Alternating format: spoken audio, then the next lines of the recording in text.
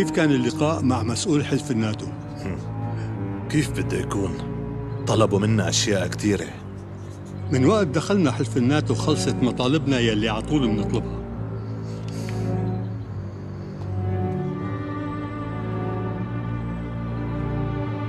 بدهم نحط هاي الأسماء مكان اللي صفيناهن ما خلوا اسم فاشل ما حطوه هون مو معقول قديش في زعران تحت جناحاتهم شو بتتخيل إنهم رح يطلبوا؟ شو بيختلف هالحكي عن الماضي؟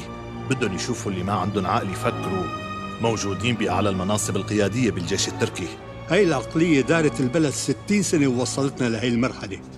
لسه لهلأ عم يشوفوا العالم مثل ما هو. أنا ما بثق كتير بآي بارس. ممكن يقاوم وما يقبل بهي القائمة. رمزي لو القرار إلك رح تمرر هي اللائحة. لا بس مجبورين. أي برس مجبور يمرر هاللائحة. ولا رح نقوم باللازم. حليت أمر بويراس؟ حليته واليوم رح يجي. برأيي ما كان في ضرورة لنجيب هذا المهووس على البلد مرة تانية. كل مؤسسات الدولة العليا صارت بين ايدينا بشكل كامل. السيد عادل ومن وراه مراد علمدار ما عاد رح يقدروا يعملوا أي شيء بهذا البلد. لازم يكون في وجهين للدولة أخي رمزي. الوش الأول هو شفقة الأم الحنون والثاني القبضة الحديدية.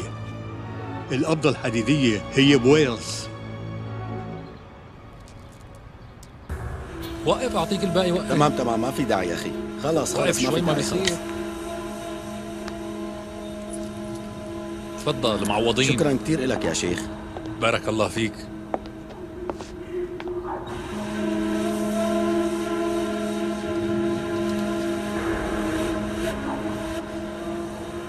كارا ليش نحن هون؟ معقول يكون هذا زلمته للمجنون؟ كم مرة عشت حياتك وأنت متخبى تحت الأرض هذا الزلمة بيعرف يخبي حاله أخي ليش قاعدين هون وعم نتحذر؟ خلينا نروح ونحاكي نهاد عم يحكي صح بدل ما نقعد هون خلينا نحقق مع هالزلمة أركان ليش ما عم بسمع صوتك يا ابني إذا كان هذا زلمتنا هذا الزلمة خبى حاله بكل صبر فوق العشر سنين. وأنتم ما عم تصبروا عليه دقيقتين. نحن ما لازم نكشف حالنا. طيب ماشي أخي. كيف بدنا نعرف إنه هذا الزلمة اللي عم ندور عليه؟ كارا لقى مسبحتين بالسيارة. إيه شو الغلط؟ خلي أخي نهاد يروح لعنده على قولة بده مسبحة ويحاكيه. نحن من زمان وقت كنا بالجنوب الشرقي. كانوا العناصر المجندين مثلنا يتسابقوا مين بده يفوت بفرقة هذا المهووس. بتعرفوا تهور الشباب وقتها؟ قبل ما يوافق هذا المهووس على المجندين كان يعمل لهم امتحان. بعد ما يتجاوز العنصر كل أشكال المعاملة الوسخة. كان بويرز يكافئهم دغري. ويدق على زند العنصر الوشمي اللي موجودة على زنده هو.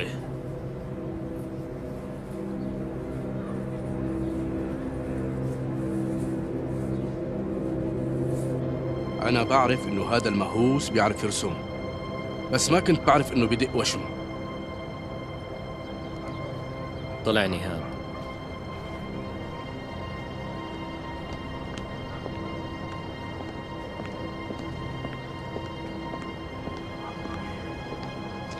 شو صار معك؟ هذا هو زلمتنا. كان في وشم على زنده اللي شفته للوشم؟ ما في. إيه. عامل عملية وماسحه. بس أثره مبين. إيه يلا اطلع.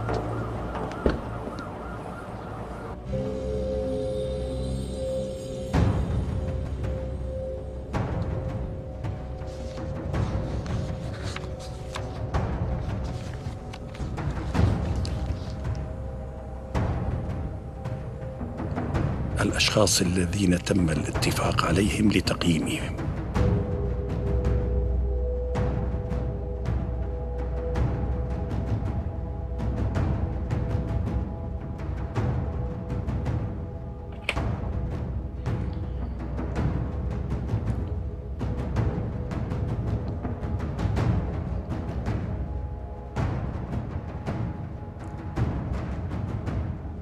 ابني أنا رئيس الأركان الجنرال أيبارس إذا كان الوزير مانه مشغول خبره إني حابب التقي معه.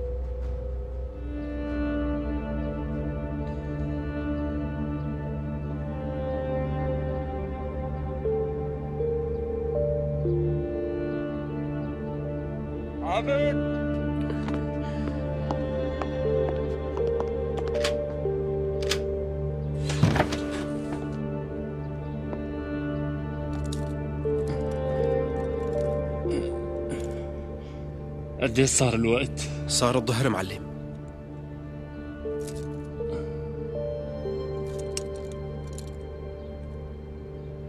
أنا جوعان وبدي آكل لي لقمة. تعال فكني. رح جيب لك الأكل لهون. بدي اتوضى يا عابد. بدي غسل وشي بالمي. خليني أروح ارتاح شوي. معلم أنا رح جيب المي لهون. عابد شو صايبك ليش ما عم تسمع كلامي اعمل اللي عمل لك عليه مفهوم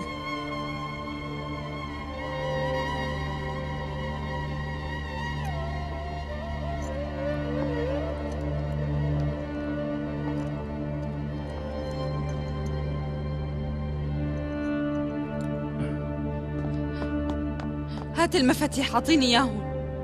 حبيبتي روقي بدي غسل وشي. عابد عم قل لك أعطيني المفاتيح يلا. ليلى لا تكبري القصة.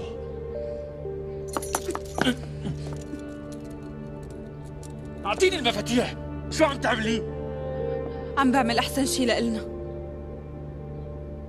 عابد ليلى بدها تنتقم مني معقول تسمح لها بهذا الشيء؟ عابد مراد مانو بوعيه لسه ما تحسن. ما عم بقدر أتحمل. ما عم بقدر أتحمل. فكوني ببوس ايدكم بقي شوي يا مراد. لازم تصبر شوي. لك عن اي صبر عم تحكي. طلعوا وشين العوا طلع من هون خوني نلعوا لبرا.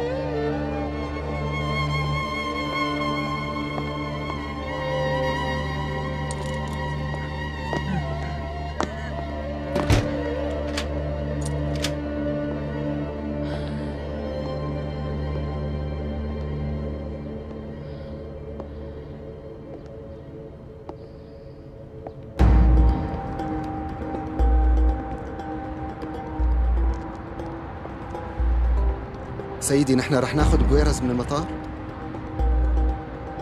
انت عملت الخدمة العسكرية يا نافذ؟ عملتها سيدي.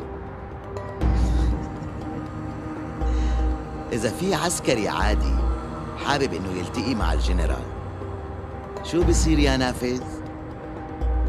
بالأول بيروح على قائد كتيبته وقائد كتيبته رح يبعته لعند العقيد.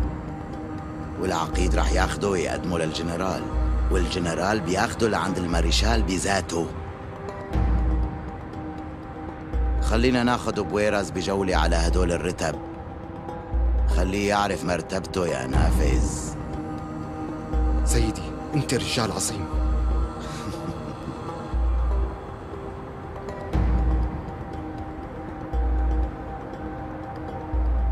على الأغلب بويرز بهي السيارة.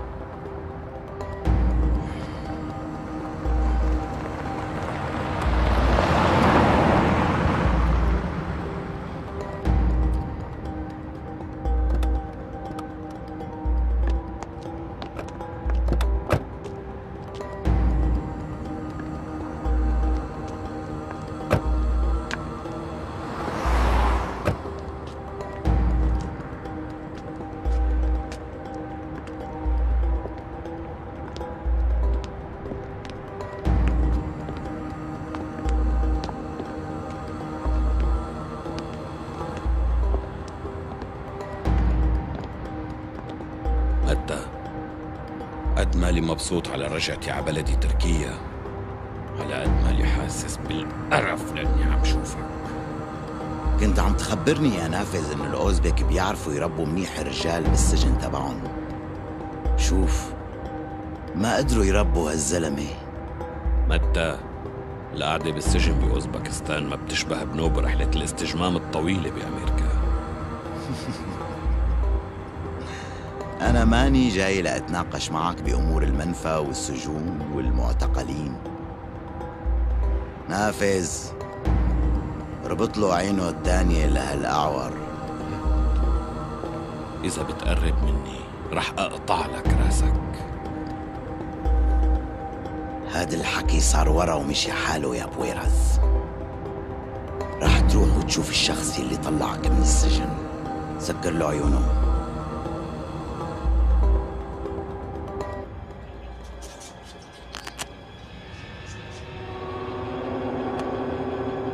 متى أنت فيك تطلع؟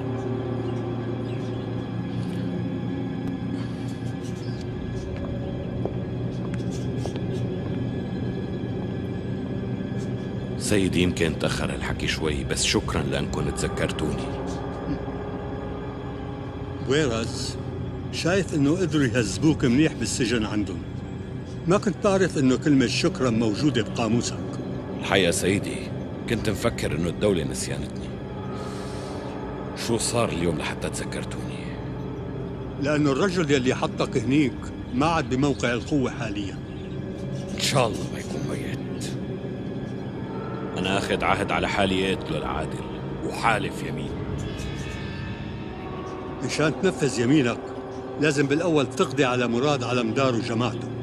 مين مراد على مدار؟ هذا الأسطورة الجديدة اللي روج لها عادل وأصلان وأشرف قدام الرأي العام بالبلد. بعد ما تركوك تعفن بالسجن بأوزبكستان. أنا عصبت كتير.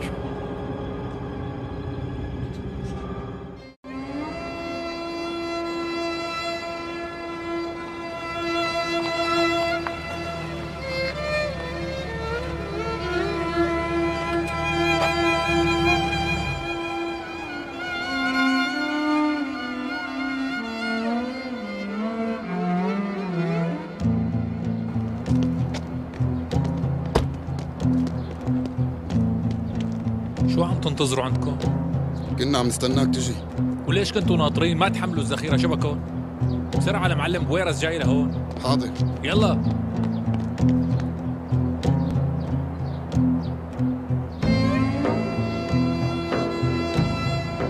شو عم يعملوا هدول؟ هدول عم يجهزوا لأنه معلمهم جاي يا عبد الحي. هي انت خليك واقف عند الذخيرة حاضر معلم. عبد الحي إحنا هون مكشوفين. إذا مر بويرز رح ينتبه علينا هون.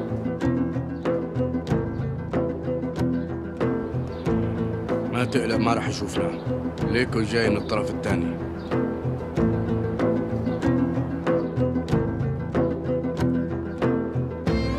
معلم رح يمحوا أثرنا بهالذخيرة كلها. خلينا نقوص عليهم ونستغل الفرصة. إذا قوصنا رح ينتبه علينا بويرز. ما رح نعمل شي لحتى يجي بويرز ويفوت على البيت. أنا رح روح لقدام ورح أتسلل وقوص على اللي عم يحملوا الذخيرة ورح أبعث لكم إشارة وبعد ما أخلص نهاد وأركان فورا بيجوا من ورا عبد الحي أنت رح تكون معي بالاقتحام كارا انتبه ما لازم نروح بويرز من إيدينا. ماشي. ماشي.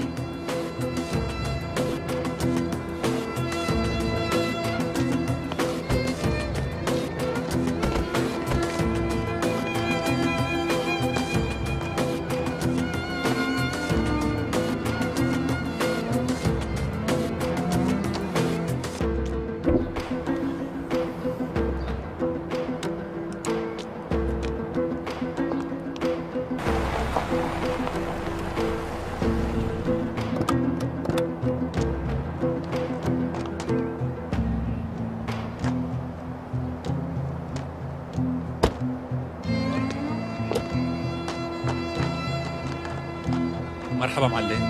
اهلين فيك شيخنا. لبقت لك الدان يا شيخ. تفضلوا.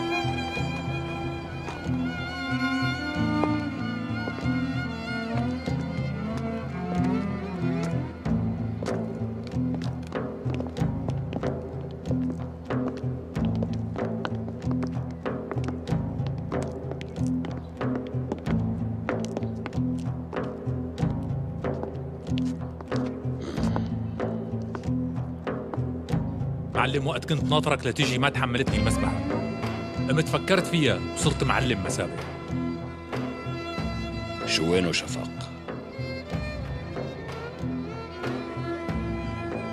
معلم مراد علمدار قتل أخونا شفق صار الوقت إني أتعرف على هالمراد علمدار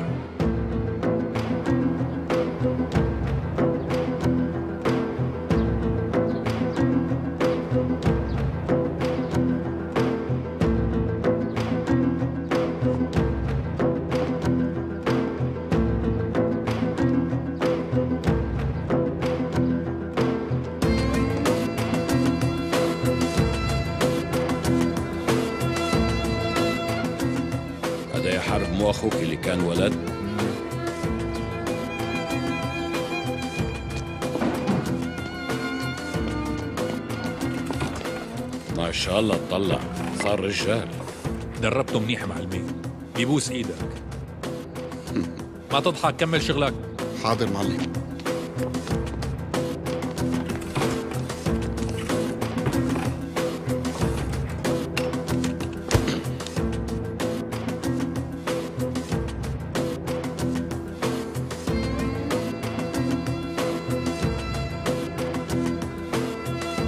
معلم كان لازم أتخبى. معلم كل المخابرات كانت عم تلحقني.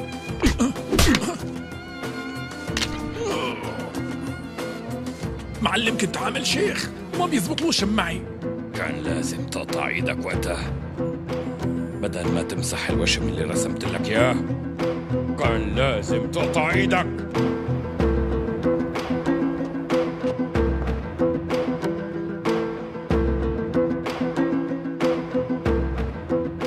معلم انتبه كارا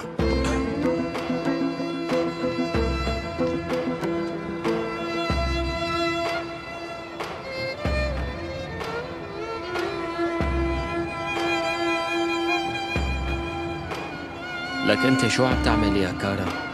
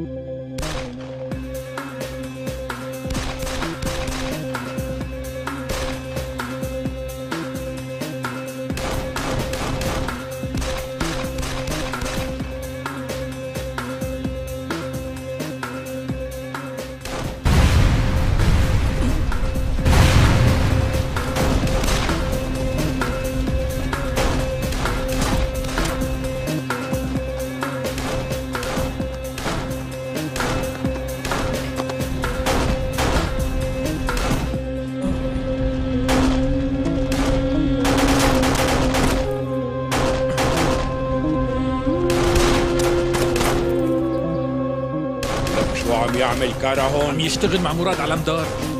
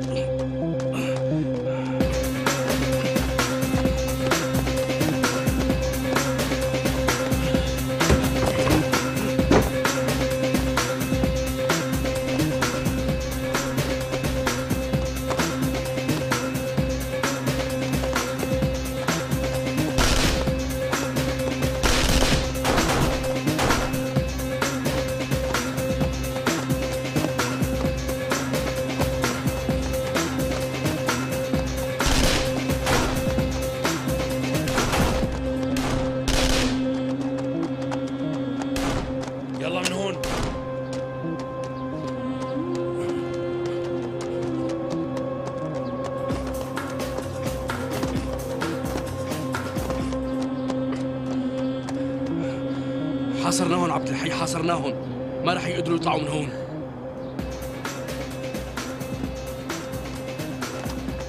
ما تكون متأكد. نهاد أركان روحوا من هداك الطرف. تعال معي.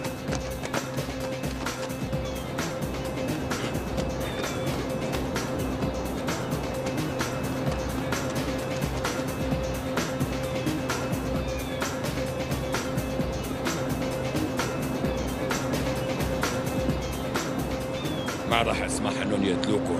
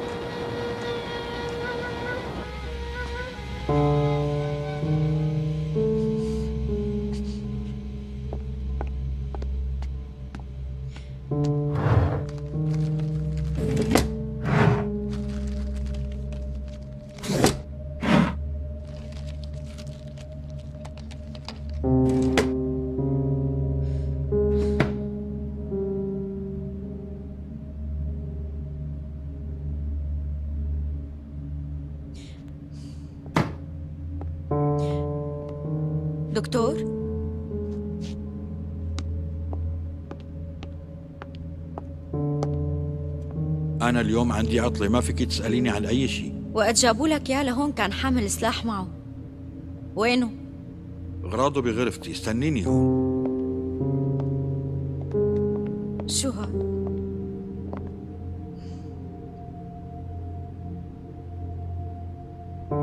بالأخير رح تفتح عيونك يا حيدر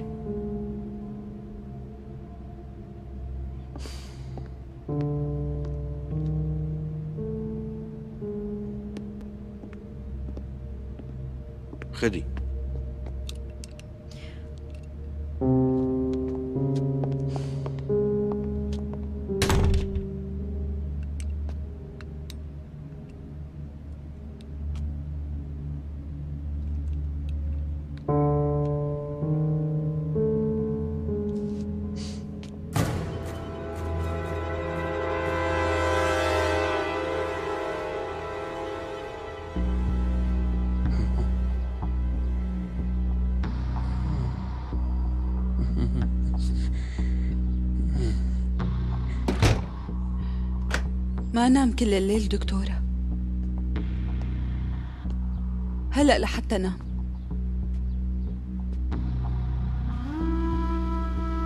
عم نعطيه الأدوية على الوقت. ومثل ما حضرتك قلتي عم نحاول إنه ما نفوت على غرفته غير للضرورة القصوى وبس.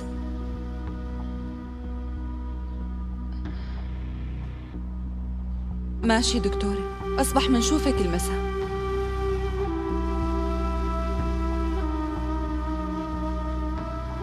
أستاذي شو قالت الدكتورة؟ الأصعب شيء أول 24 ساعة طالما قدرنا نتجاوزها رح تصير الأمور سهلة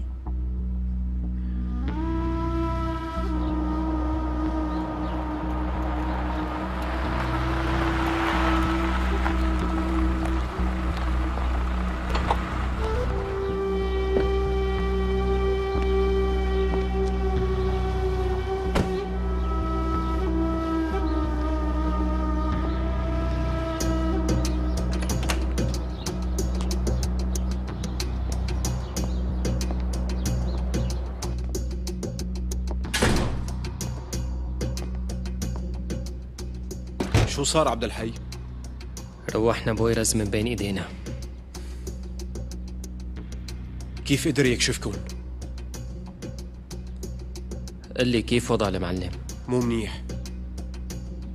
لازم نحكي مع المعلم ضروري. ما بصير هلا عبد الحي. مراد ما بوضع بيقدر يساعدك بس المسألة كتير مهمة. لازم المعلم يكون عنده علم. في مسألة مهمة أكثر من صحته وحياته؟ يمكن مهمة لنفس الدرجة.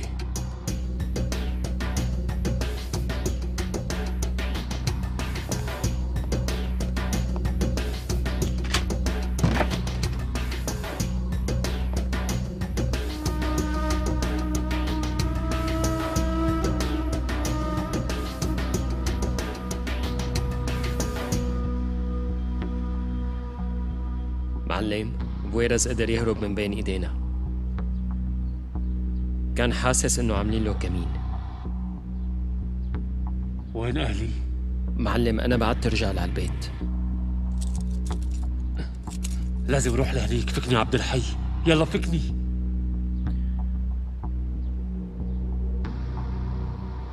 لك هذا مجنون ومهووس.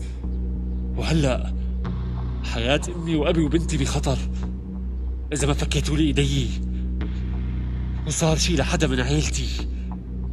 ما رح سامحكم طول ما أنا عايش.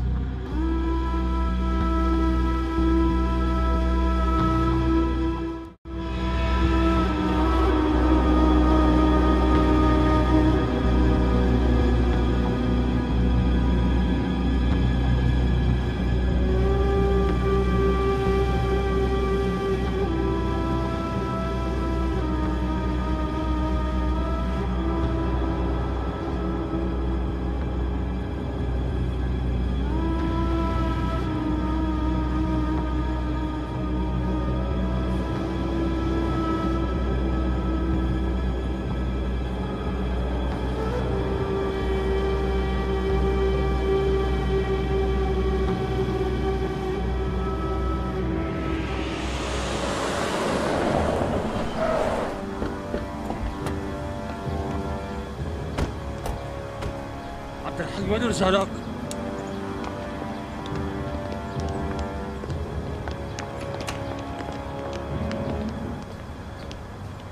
بابا أنتم مناح؟ كنت رايح على الجامع خير. بابا رجالي اللي على الباب بعتون على محل. وين بدي أبعتهم يا ابني؟ ليش مانهم بمكانهم؟ رهف وامي وينهم لكان؟ أمك بالبيت ورهف نايمة بغرفتها.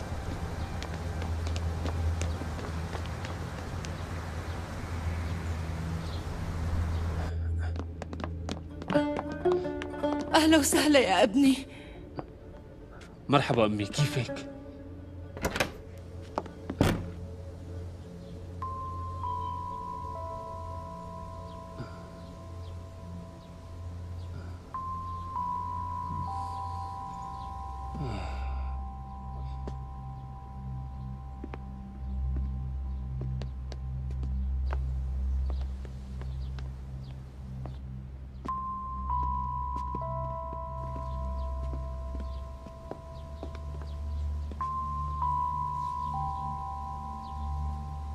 أمي شو صاير لوشها؟ هي وعم تلعب وقعت طيب ليش ما خبرتوني؟ هي طفلة لك أمي كل ما بدها توقع بدنا نتصل فيك معقول؟ مم. بابا أنا عم بحلم ولا حقيقة؟ لا حبيبتي حقيقة بابا حبيبي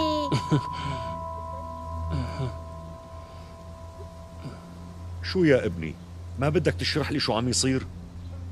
ما في شي مهم بابا. كنت قلقان شوي هذا كل شي. شوف بابا هي أنا كمان عملت حدث مثلك. يا حبيبتي عم يجعك؟ لا ما عم يوجعني. بالنسبة يلي عم تتوجعوا أنت أنا ما عم توجع. يا حبيبتي.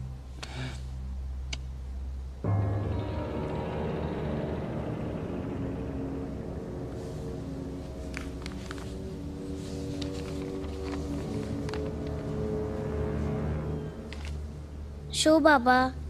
شو عملت لي هالرسمة إلي؟ إيه حبيبتي ورجيني أنا بالرسمة شي؟ لسه ما خلصت بس تخلص وبرجيك إياها ليلى موجودة فيها؟ عابد اتصل بليلى سألها إذا كان بدها شيء مفهوم معلم يعني رح تاخدنا لعند ليلى بابا؟ إيه حبيبتي؟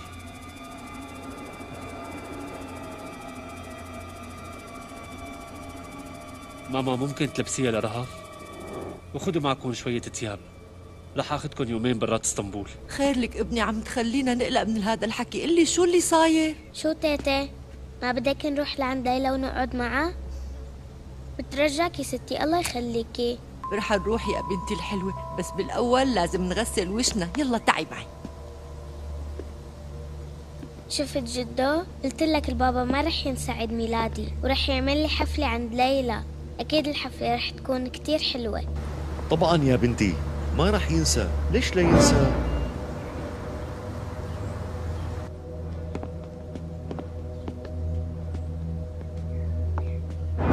خير ابني على شو عم تطلع؟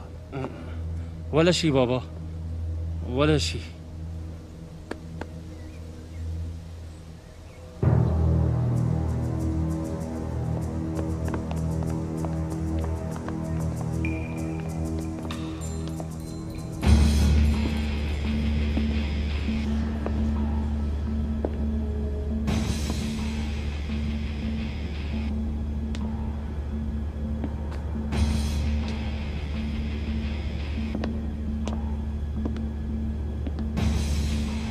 ابني.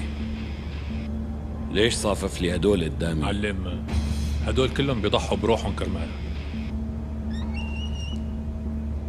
هدول يلي رح يحاربوا تحت أمرتي؟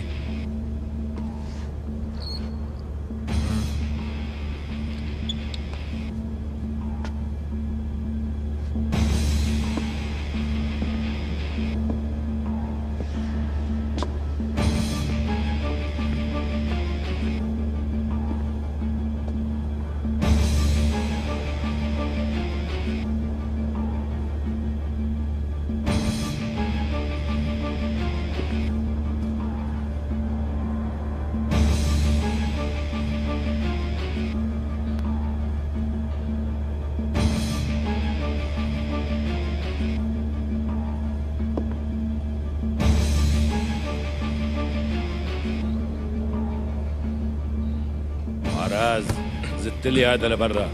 ما بدي اشتغل مع ناس بتخاف. لبرا.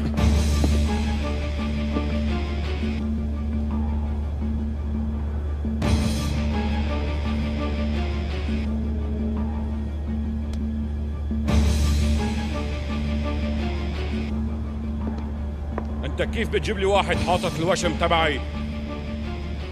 عم تعصبني. لك انت شو عامل؟ طول عمري وأنا عم احلم بشوفتك. مستعد أفديك بحياتي. مستعد تضحي بإيدك. عراز أعطيني سكين.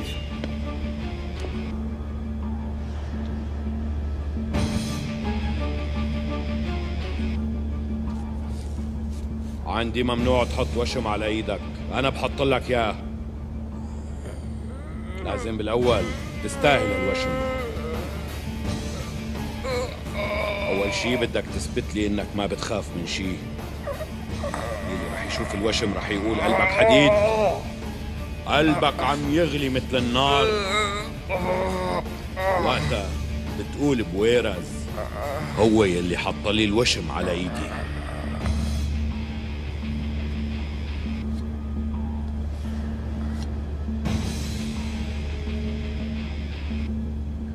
أراز لعيلي هالندل يلي رسم له هالوشم بتروح وبتفقي له عيونه التنتين مشان ما يرسمه لحدا تاني. حرب لف له ايده لهذا الشاب ما بدي اياه يموت بالنزف. هذا بيستاهل الوشم. وبس ليتحسن أنا رح أرسم له الوشم بإيدي. خلصوا شغلكم بدنا نمشي يلا. ما لازم نخلي مراد على مداد ينتظر.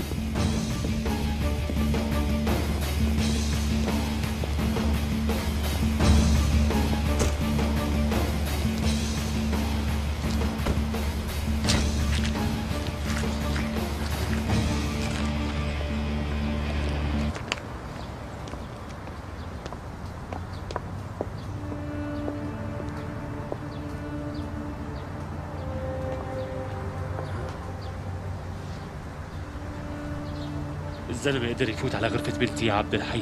شو هالإجراءات اللي أخذها؟ معلم الإجراء الوحيد اللي فينا نعمله ضد بويرز هي إنه نقتله قبل ما يعمل شيء. طالما هيك ليش ما قتلتوه؟ معلم هذا الزلمة ما بيشبه حدا.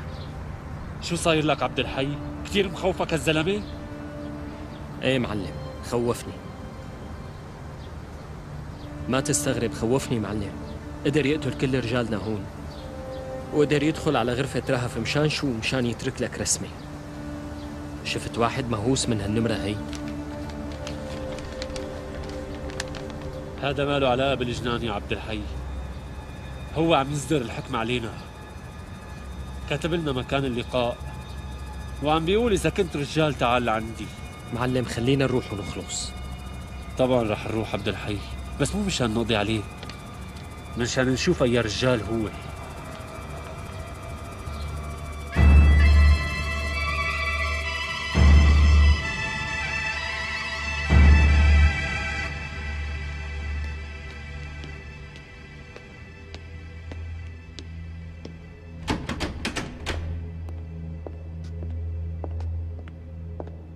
دكتور؟ ليش غرفة حيدر مقفولة؟ شو بيعرفني؟ أنا روح اسالهم لرفقاتك في حدا جوا بالغرفة غير حيدر؟ إيه في بنت.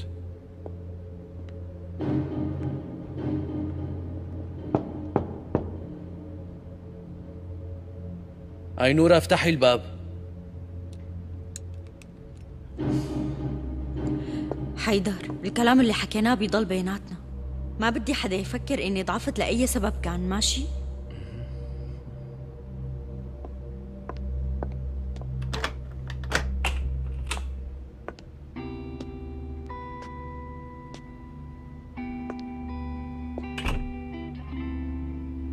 أنت ليش كنتي قافلة الباب؟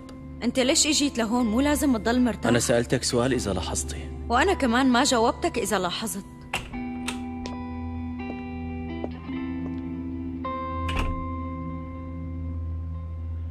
الدكتور كل شوي كان عم يدخل. أنا طلبت إنه تسكر الباب. كنت بدي أسأل عن الختيار الكبير وما بدي حدا يسمعنا. كيف صرت أنت؟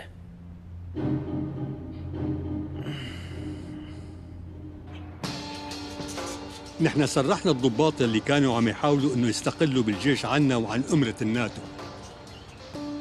والفريق الجديد اللي اخترناه هو من الشباب يلي كله إيمان بالولاء للناتو وأهدافه. انبسطت كثير من هذا الحكي يا سنجر ما بدي على طول ذكركم نحن شو عملنا. الناتو وقف مع تركيا بوش الخطر الشيوعي اللي كان على أبوابها البنتاغون ما أخذ بالتوصيات اللي نحن بعتنا لهم إياها وقتها.